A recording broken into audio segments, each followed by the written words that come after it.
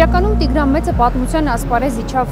մի այնպիսի ժամանակաշրջանում, երբ առաջավոր Ասիայում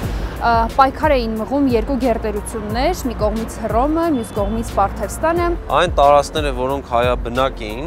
եւ հայ մեծամասնություն բնակչություն ունեին, իր համար դրանք կարմիր գիծ են։ Մեր պատմության ընթացքում շատ քիչ են հանդիպում դեպքեր, երբ Հայաստանի թագավորը սկսում է նվաճողական արժևանքներ իրականացնել։ Նա ձգտում է նախ հայկական տարածքները վերամիավորել, հաջորդ փուլով դուրս գալ այն կարգավիճակից, որը որ պարթևները մեզ պարտադրել էին։ Նա շատ արագ հասնում է ամառանոցային նստավայրը, Գոդերց երկրորդի Էկբատան քաղաքը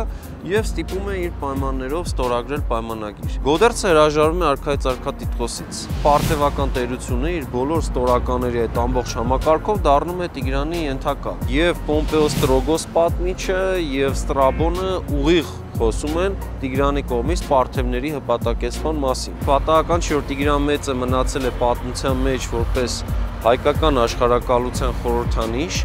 որպես հզորության գագաթնակետի խորհրդանիշ